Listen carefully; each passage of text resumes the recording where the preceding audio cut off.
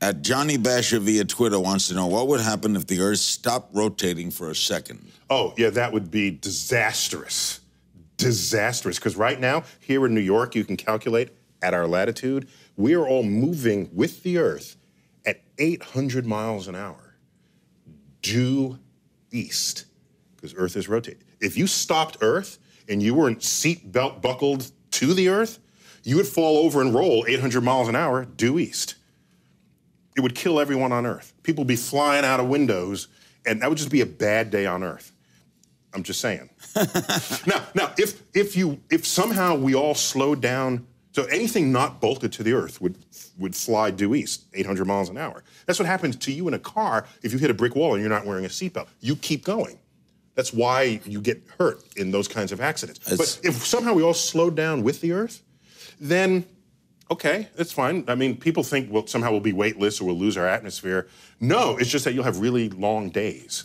At Ski Boot One asks, what's the thing that has surprised you most in the physics world? In the physics world, uh, I'm surprised. Can I give a cop out answer there? I'm surprised that the United States could lead the world in particle physics for most of the 20th century and then just abandon that leadership.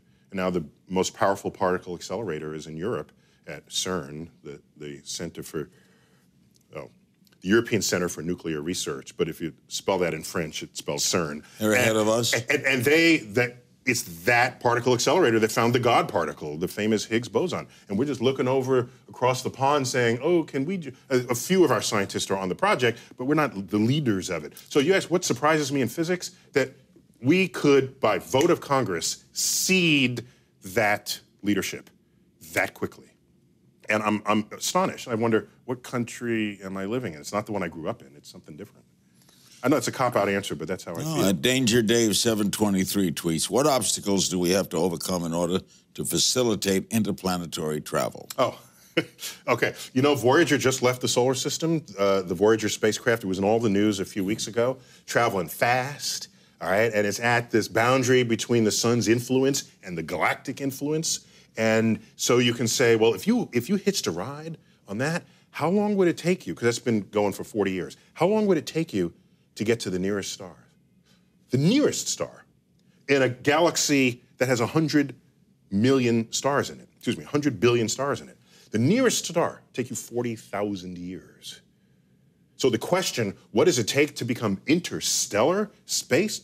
We either have to figure out a way to live a really long time hmm. or send a crew of astronauts that are really fertile so that the 80th generation down the line is the one who lands at the destination, or we have to find out something new about the fabric of space and time so that we can basically invoke the famous warp drive engines that are common in Star Trek, allowing them to cross the galaxy during the TV commercial.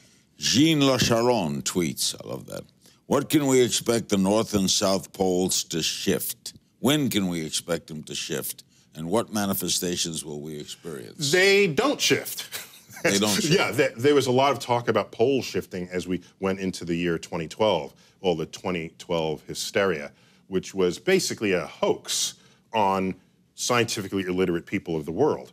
And so uh, the pole, uh, Earth rotates, and the pole bobs up and down over tens of thousands of years, and we, and we oscillate like this, the way a top does.